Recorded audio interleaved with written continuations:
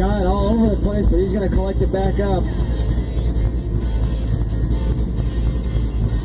About 1152, 118 miles an hour for Keith Scott.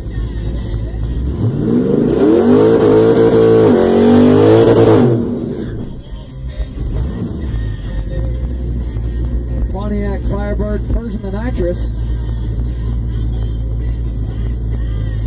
It's going to be a GMC Duramax over there in the camera lane.